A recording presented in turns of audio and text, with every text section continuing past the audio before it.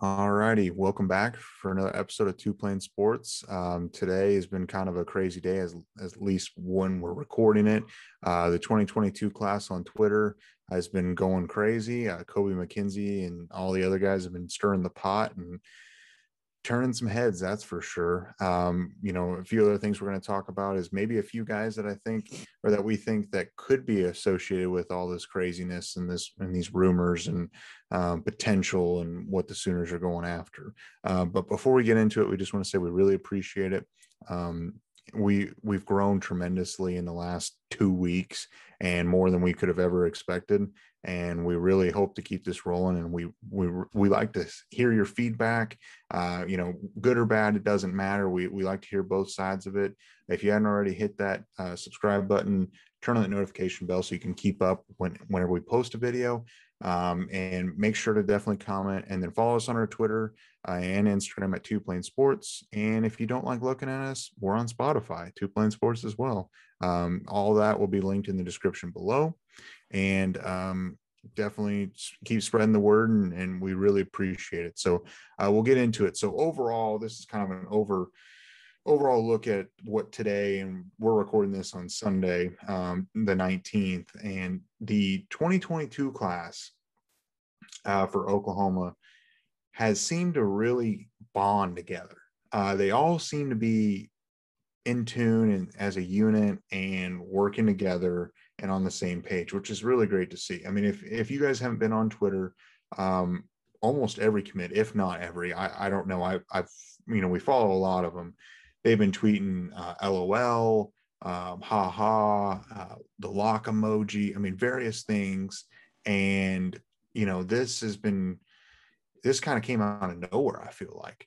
Um, I don't know if Kobie McKinzie was the first one to do it. I feel like he was the first one, at least I saw doing it. Um, I don't know. As we're recording this right now, Kobie McKinzie has tweeted out six different locks and another one in LOL. And he's swearing that it's different people, um, which is hard for me to wrap my mind around that six kids, whether it's new recruits, transfers, uh, flipping kids, six is hard for me to wrap my mind around. Jose, what do you, what do you th- what do you make of all of this? This is this is insane, actually. It's beginning to look a lot like Flipmas here, Brum. Yeah. Where Brent Venables is doing what he does, and he's putting in the work in the recruiting trail.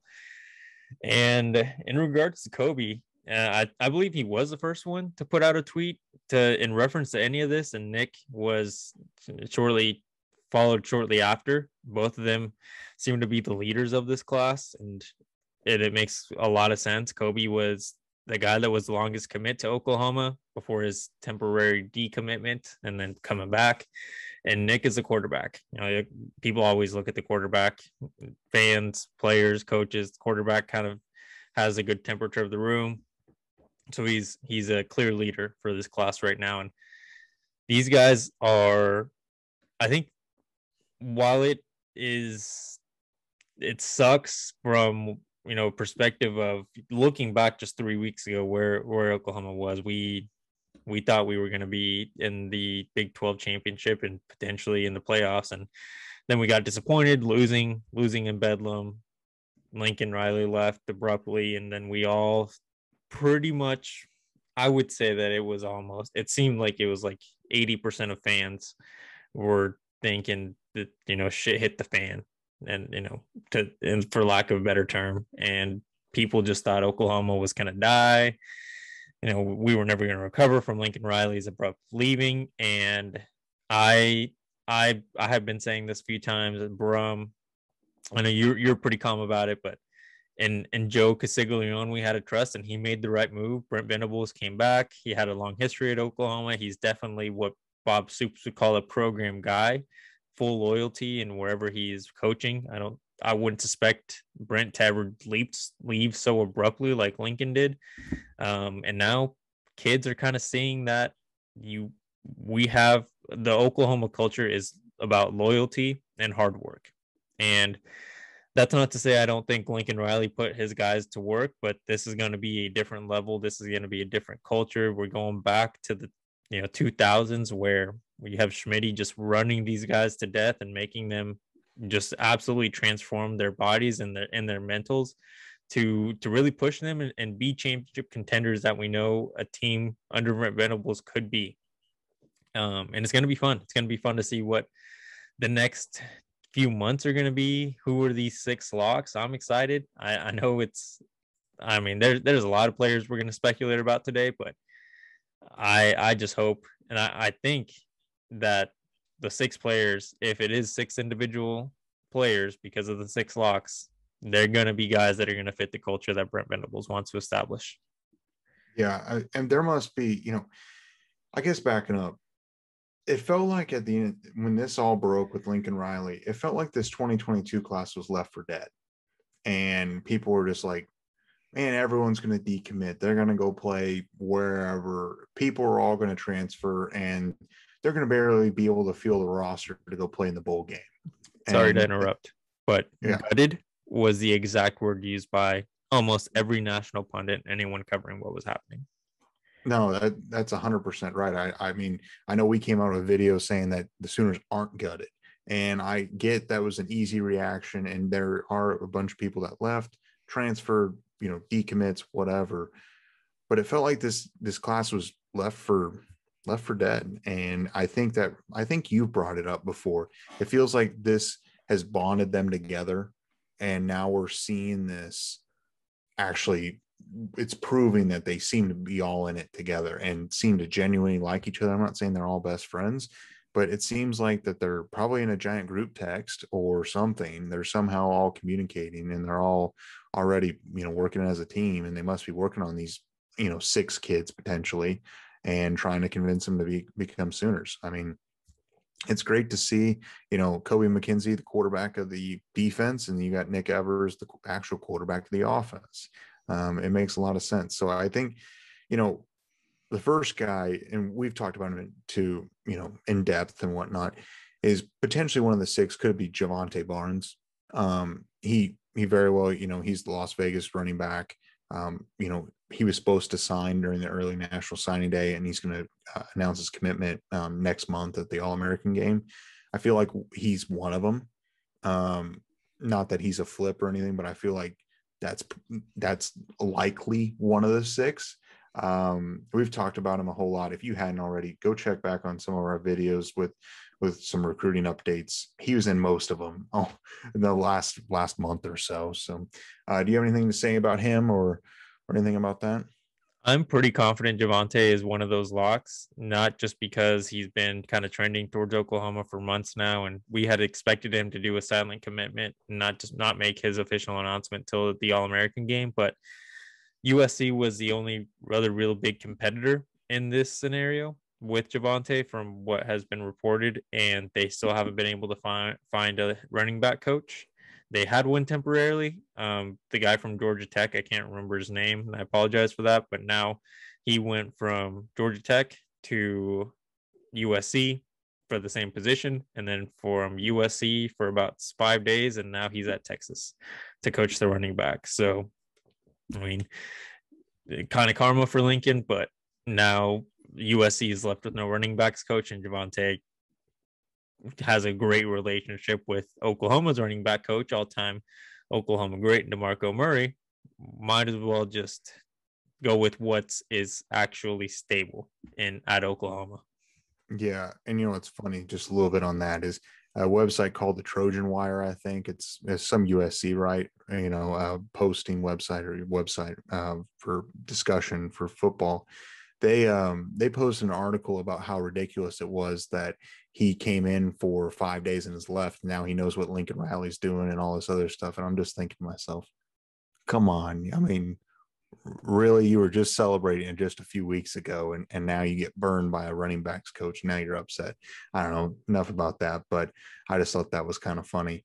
Um, but yeah, I, I do agree. I think he's going to end up being a Sooner. It's stable. You got a great coach. You know what you know who your offensive coordinator is at this point. Um, I don't know why you wouldn't want to be a Sooner at this point. It sounds like a bunch of turmoil in his position at USC. Yeah. Uh, so another guy uh, we've brought him up before is Jaren Kanak. he could be potentially one of the six as well. So that's two of the six. Um, you know, six foot two, 210 pound. He's labeled as an athlete from uh, Hays, Kansas, number 252 overall, number 10 athlete in the 2022 class. He's a four star. Um, we talked about him. He's, you know, he runs track, runs an extremely fast uh, 100 meter dash, hard hitting linebacker, flies around the field, and can, you know, shoot the gap and all that stuff. And he seems to be pretty, you know, he's committed to Clemson right now, but it's more of he's committed to Brent Venables. And since Venables has obviously left, he seems to be really determined to become a Sooner.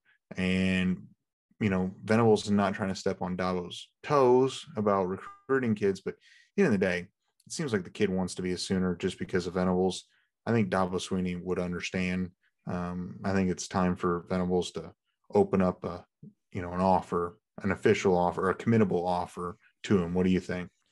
Yeah, that I agree 100%. And and we talked about it offline. This is in a situation where I understand, you know, Venables has, you know, has a stance on how he's going to move forward with the relationship he has with Dabo and Clemson as a university. He's not going to step on any toes and actively recruit kids that are committed to them.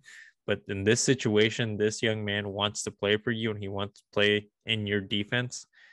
I wouldn't I I wouldn't expect Dabo to be just absolutely heartbroken if Venables made start making start to make moves on a recruitment for him. This he he wants to be a sooner almost every recruiting expert has gone ahead and crystal balled him to Oklahoma. And these guys aren't just randomly pulling these numbers out of their butt. Like they've got information, if not direct communication with with the recruit.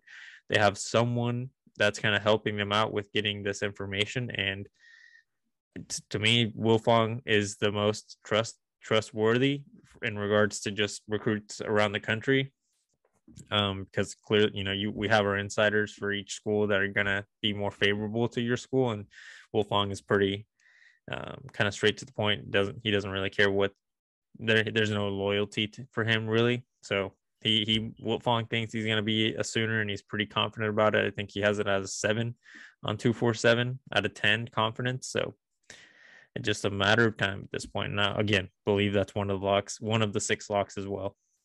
Yeah, I I definitely agree, and that's a guy that I'm extremely excited about. Anytime you can get a kid that is 210 pounds and can run like a 10 was it 10 5 100 meter dash or something, it's something crazy like that. Extremely athletic, um, pretty pretty good stuff. Venables effect already. So there's two out.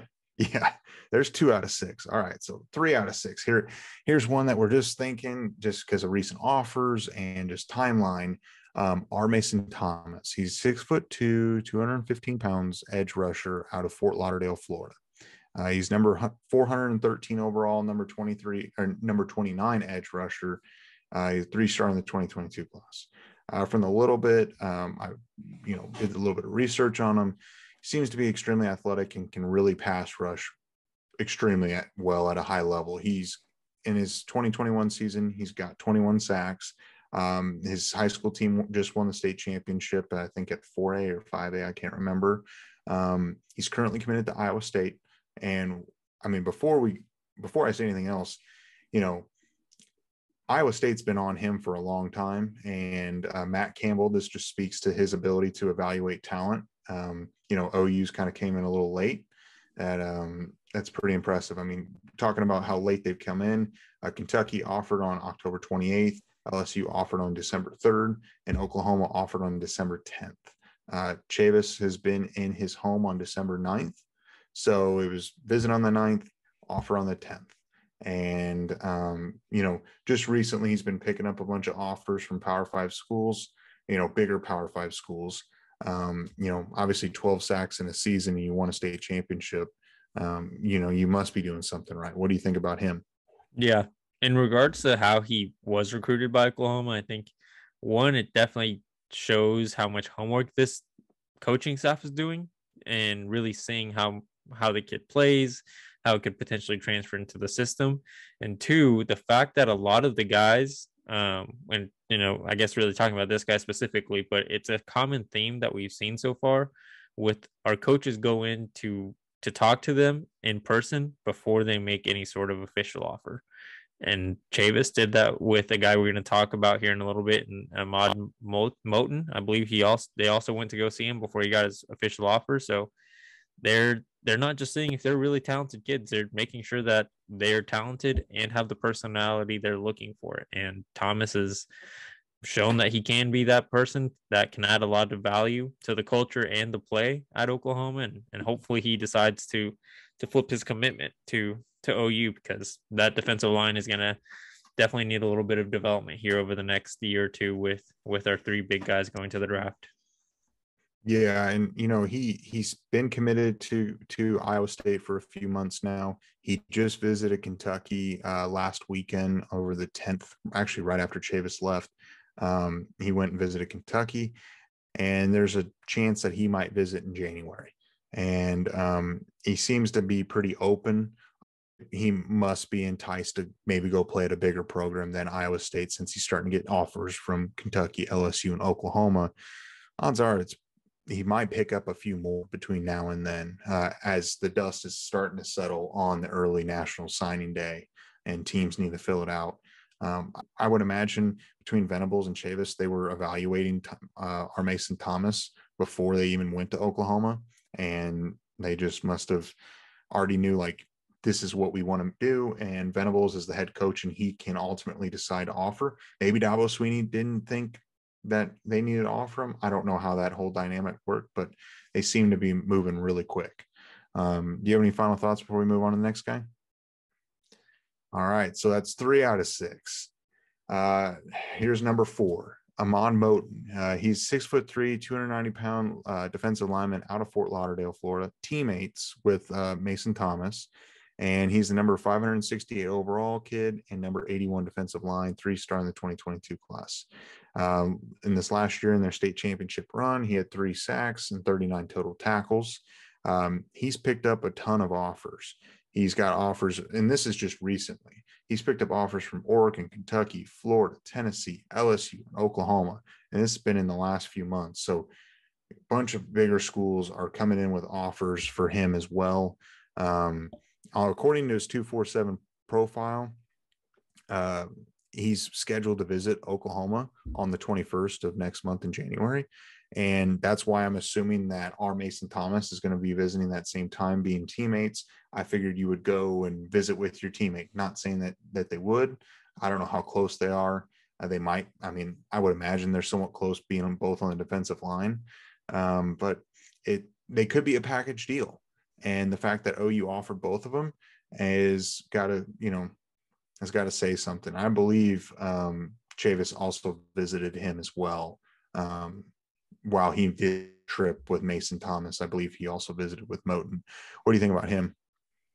He is a big dude. He is very large, and it's going to be a different, really defensive line than we've seen before. It's going to be a lot more power, uh, maybe a little bit less speed, which you know, I guess really just a preference at this point, but they're still going to be effective. Um, and Venables is definitely establishing his recruiting roots in Florida for the Sooners. That's something we haven't really had um, over the last seven years with Lincoln, um, you know, at, at the helm.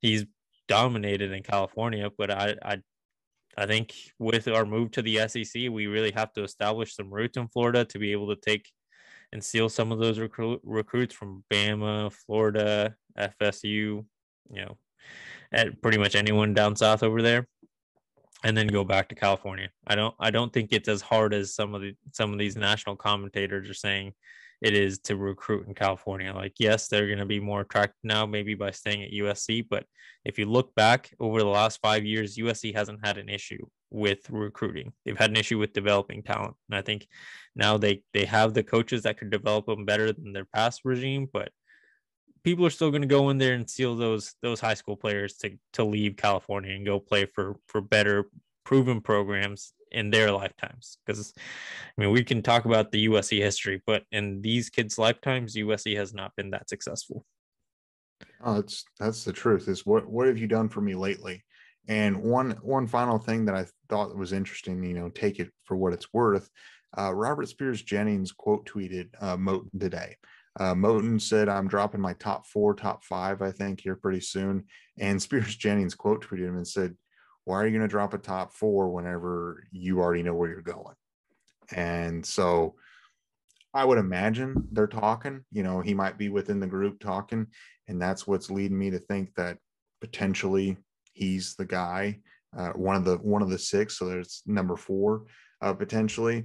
Uh, like you said, the thing that sticks out to me is 290 pounds.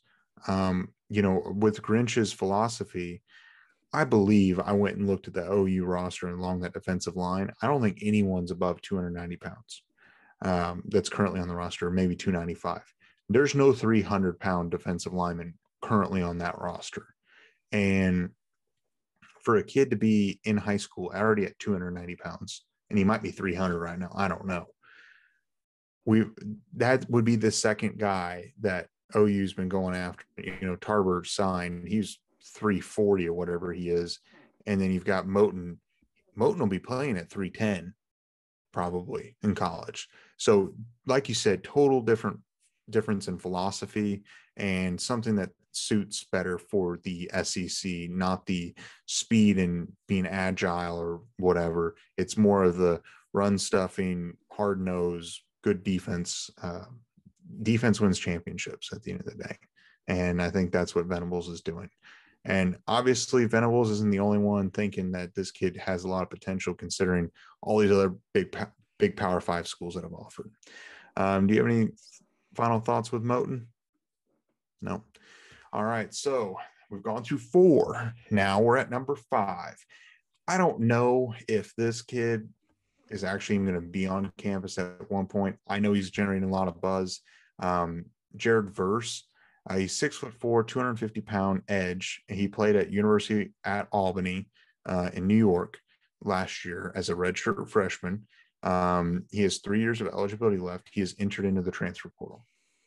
Uh, this past season, he had 10 and a half total or total sacks, 53 tackles, and 11 and a half tackles for loss in 2021. So an extremely dominant edge rusher. He entered into the transfer portal, I believe, just past, just after Thanksgiving.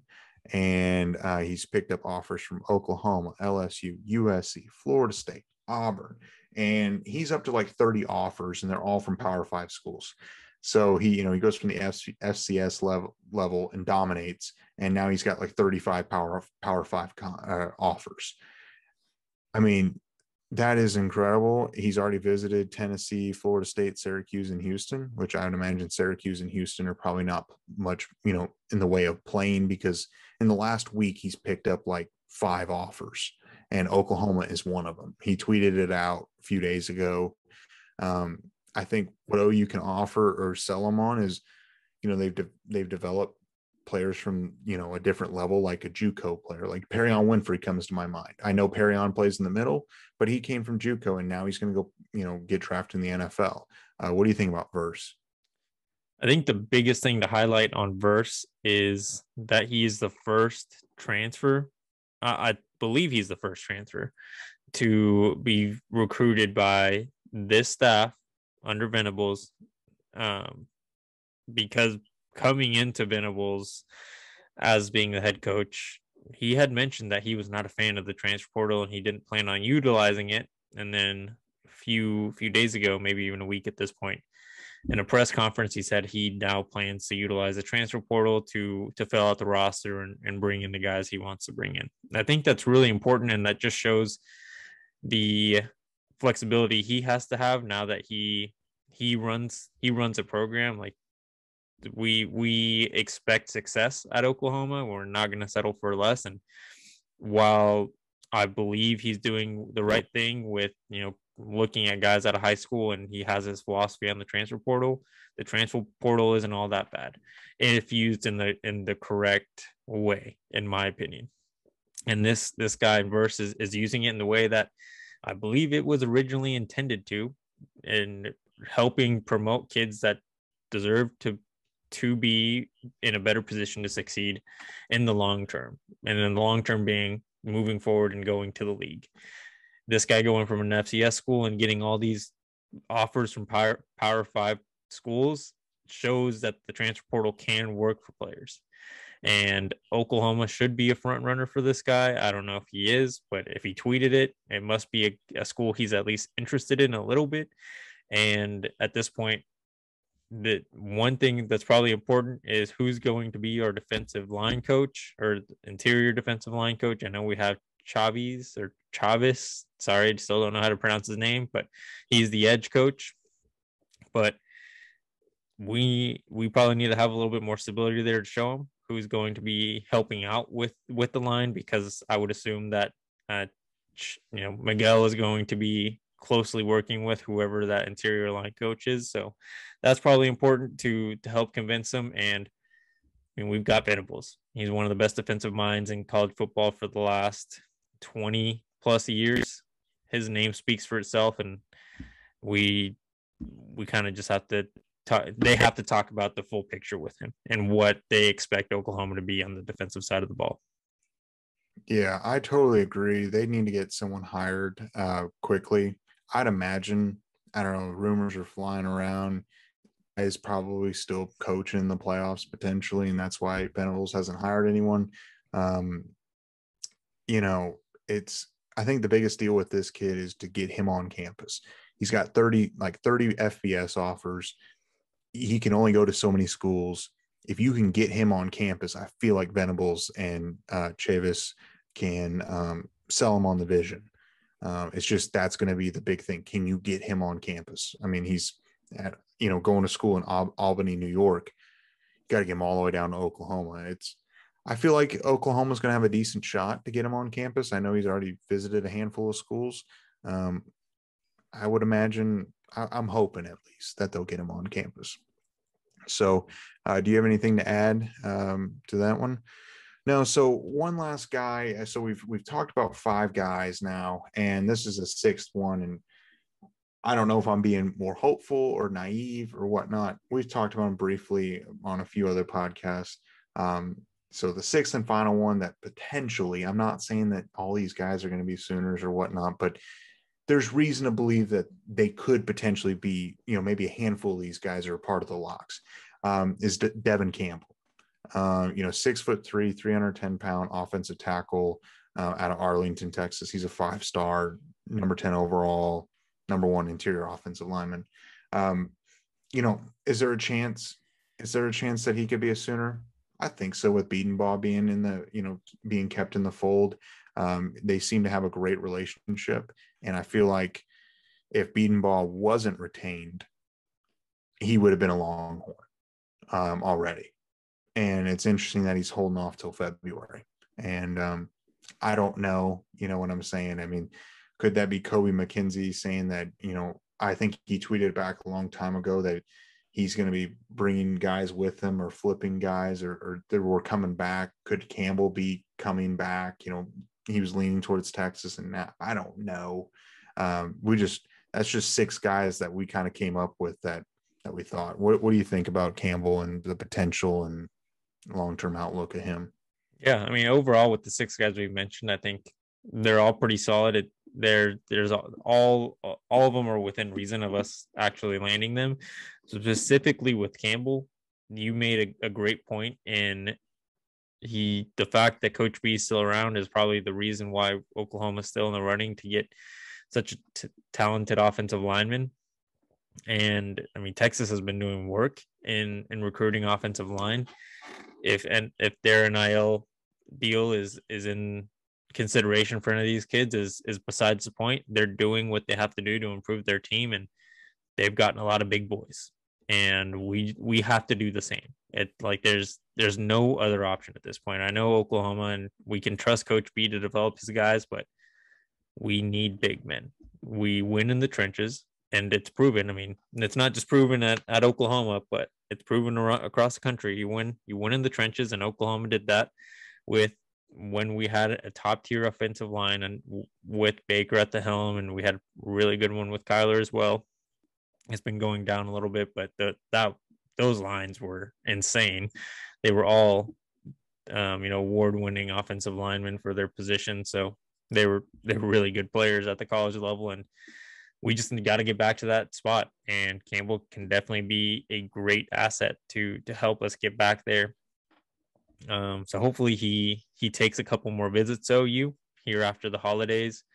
Um, but I think he's taking the, the right approach. I mean, if he's not feeling 100% confident in one school or the other, you know, take your time. Just because there's a national early national signing day doesn't mean you have to sign on the early national signing day.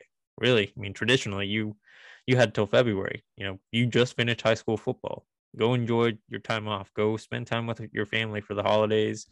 Hang out with your friends, and then once you come back to school, then get back to business mode. You know, take take your visits, talk to coaches, have the coaches come to you, and really feel 100% confident in the decision you're going to make because I would expect kids that make their decision in February to be the kids we're not going to see in the transfer portal anytime soon. They feel a lot more confident about their decision than the guys that did it on December 15th. Not that those guys were swayed one way or the other 100% by money, but money talks. It's made an impact so far in this recruiting cycle. And I believe kids that signed early, we're going to see in the transfer portal more likely than not at some point. Yeah, no, you, I 100% agree. And, you know, OU has to do whatever they can to get Campbell on campus again, because I know he's visited and um, sell him on the vision and, you know, winning in the trenches. And I feel like, you know, with how many commits Texas has already got along the offensive line, that class is pretty full. I could see why he'd want to slide in and be be a sooner, but it's tough to say. And um, you know, not saying that all six of these guys are of the six that Kobie McKinzie tweeted today, um, but there's reasonable, you know, there's some clues and tweets and, and, various other things that kind of piece piece it together just a little bit. Um, you know, it's going to be interesting to watch. It seems like McKinzie's really taking taking the reins and trying to lead this with um, you know Nick Evers, and it's good to see.